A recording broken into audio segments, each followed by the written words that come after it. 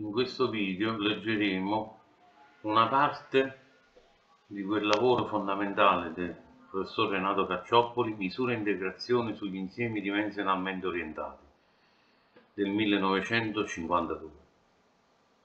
L'insieme L uguale I per C è un insieme linearmente orientato, individuato non dal solo sostegno norma di L, ma da questo e dal dominio superficiale T. L'opposto, meno L, se ne ottiene cambiando T nel complementare C corsivo per T su F. Se, F con, se Φ con 1 di L, Φ con 2 di L, Φ con 3 di L sono le funzioni φ relative agli assi di variazioni totali, lambda 1L, lambda 2L, lambda 3L e φ, e φ maiuscolo è il vettore Φ con 1, Φ con 2 e Φ con 3, la variazione totale di Φ maiuscolo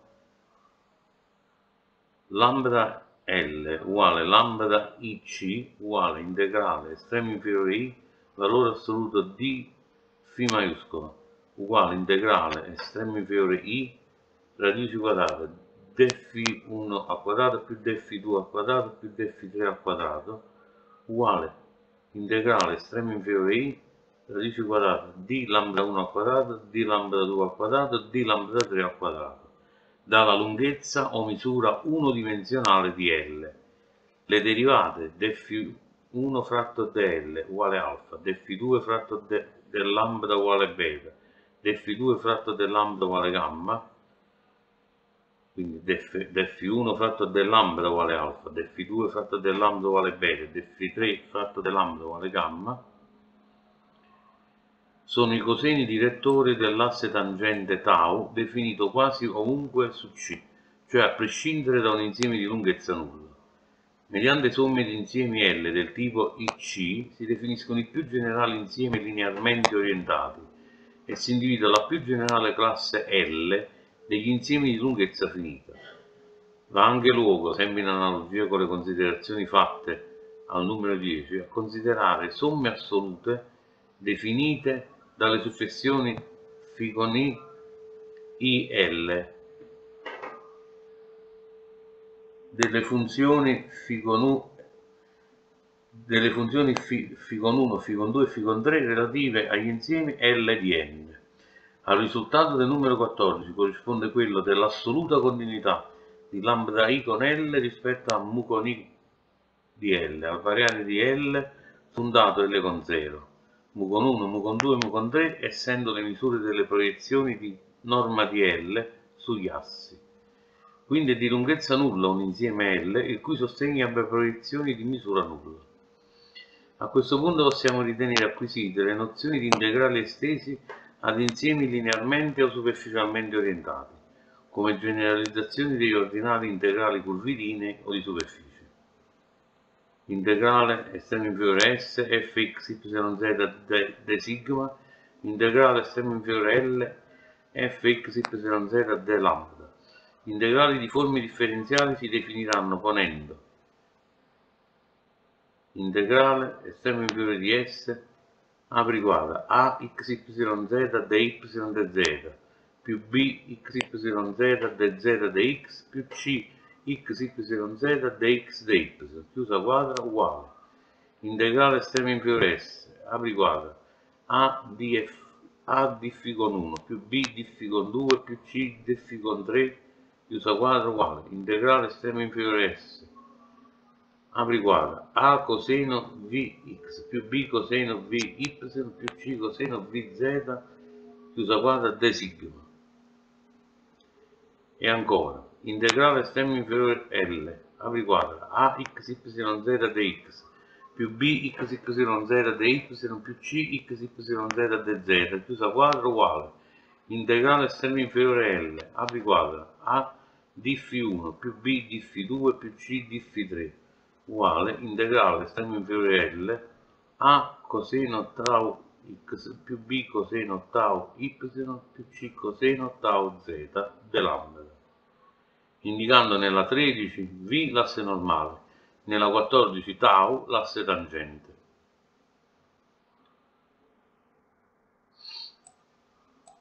Una funzione fxyz si dirà superficialmente sommabile o 2 sommabile, se il primo integrale 12 esiste finito per ogni insieme di S, linearmente sommabile o 1 sommabile, se è finito per ogni insieme di L il secondo integrale 12.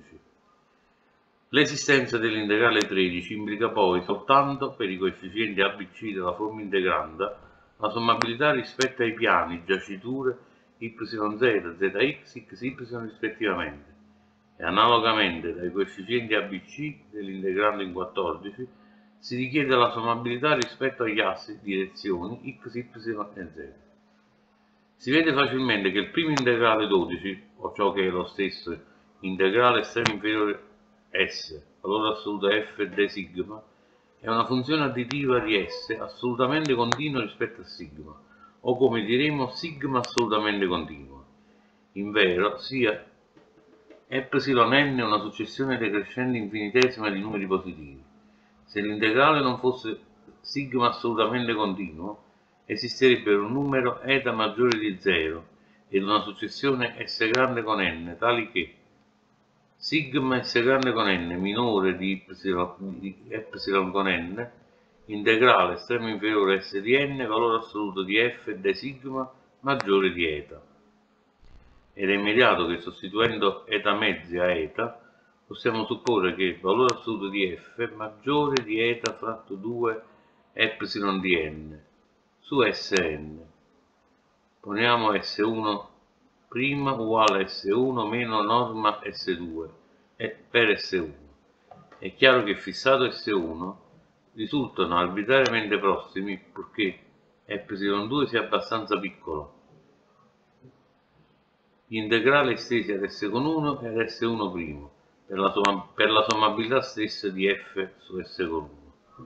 Analogamente posto S con 2' uguale S con 1' più S con 2 meno norma di S con, con 3 che moltiplica S con 1' più S con 2 risultano arbitrariamente prossimi per epsilon 3 sufficientemente piccolo gli integrali estesi a S con 1' più S con 2 ed S con, S con 2' si considera poi S3' uguale S2' più S3 meno norma S4 che moltiplica S', S2' più S3, eccetera. Si vede così come, sostituendo a epsilon di n una successione estratta abbastanza rapidamente, una successione estratta abbastanza rapidamente decrescente, si possa costruire una successione S' con n tale che integrale valore assoluto di f de sigma superi n eta n eta mezzi su s' di n sull'insieme limite s' uguale sommatoria da n, da n uguale 1 a infinito s di n meno sommatoria da p uguale n più 1 a infinito, norma s di p, s di n.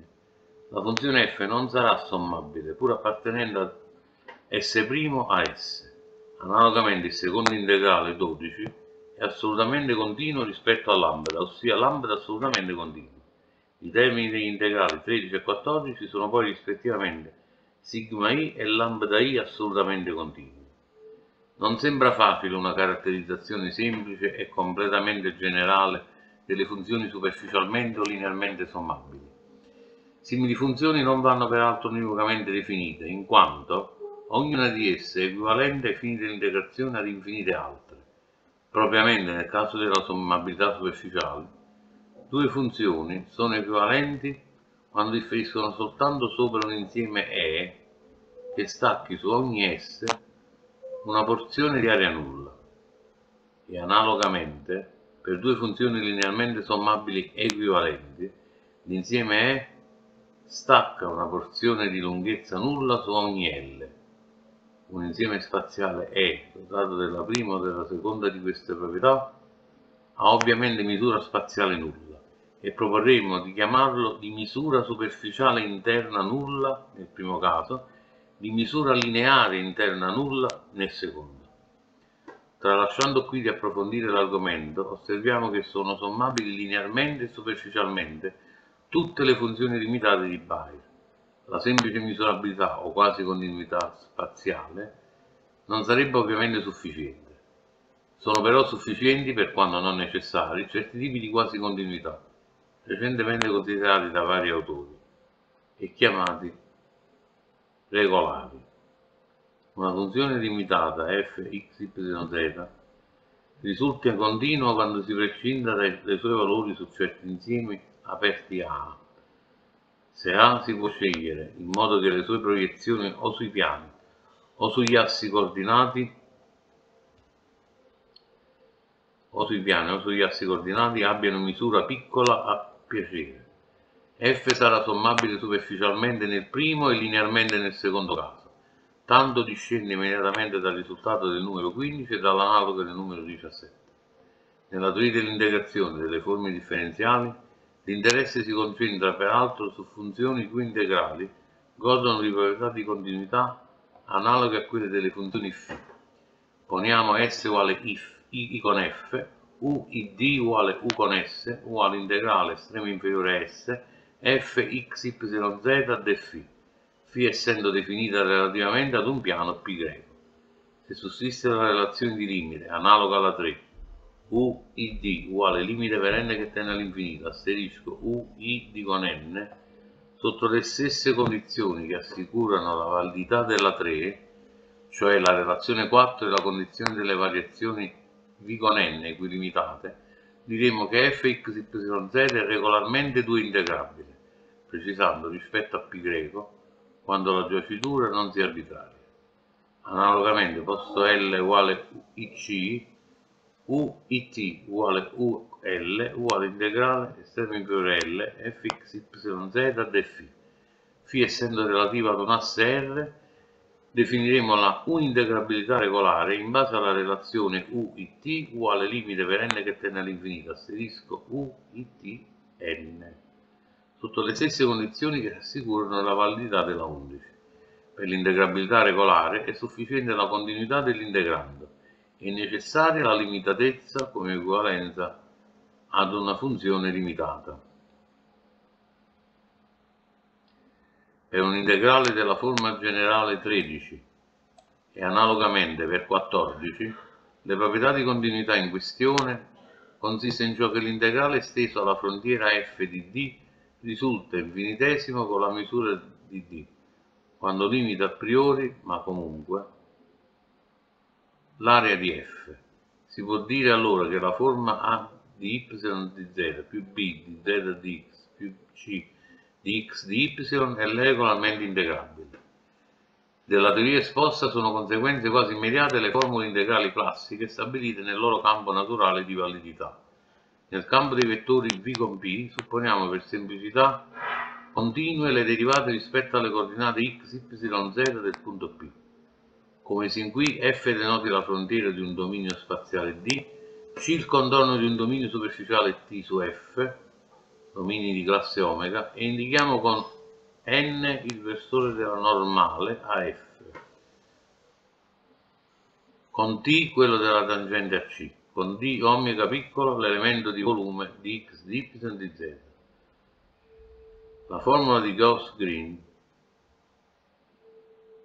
si stabilisce immediatamente con un passaggio al limite attraverso una successione poliedrica di approssimazione per d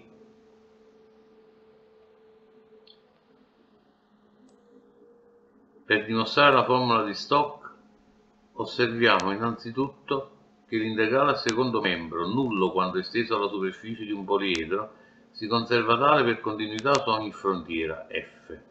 Acquisita la formula per una qualunque superficie poliedrica, la si stabilisce mediante passaggio al limite per un dominio sulla superficie sigma di un poliedro π greco maiuscolo.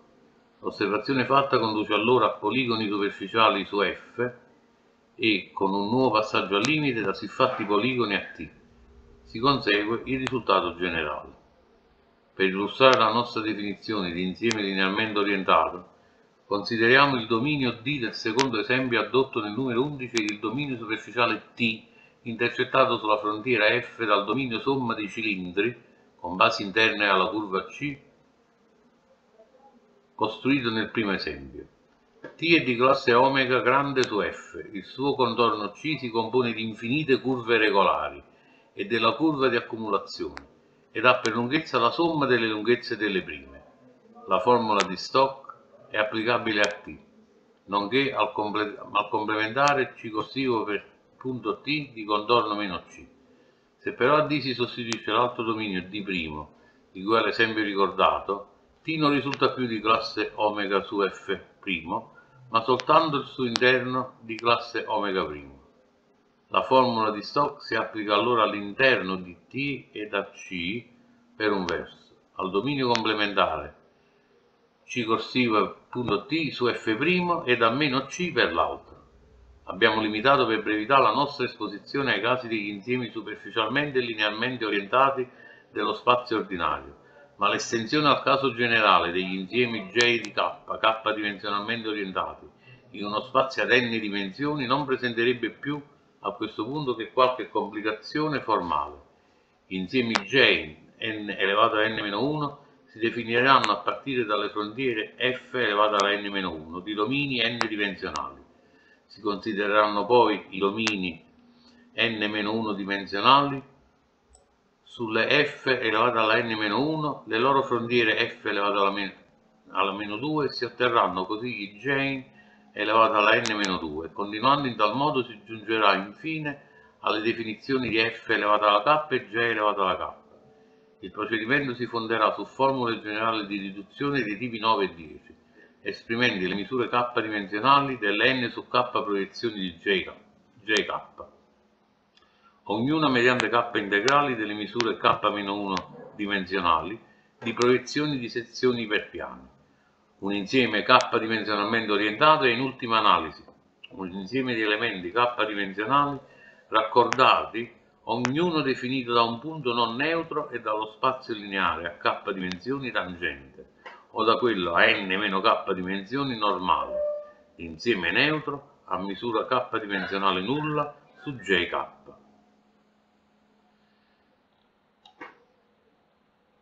E questa è una parte di quello che è il lavoro. Misure e integrazioni sugli insiemi di dimensionamento orientale, una, una parte fondamentale di tale lavoro che potrebbe essere utilizzata, anzi verrà sicuramente utilizzata alcune, in alcuni settori della cosmologia teorica e della fisica teorica, quali la teoria delle stringhe e la cosmologia del tipo inflazione eterna, multiverso. Ripeto, quindi modelli, modelli matematici basati sulla teoria geometrica della misura che da questi lavori ha incominciato a prendere piede e a essere pian piano approfondita da altri eminenti matematici che hanno preso spunto dal, da questi lavori di Renato Cacciopoli, i quali so, già contengono in germe quello che poi sarà l'attuale, quello che sarà l'attuale settore della matematica definito teoria geometrica teoria geometrica, teoria geometrica della misura. Grazie.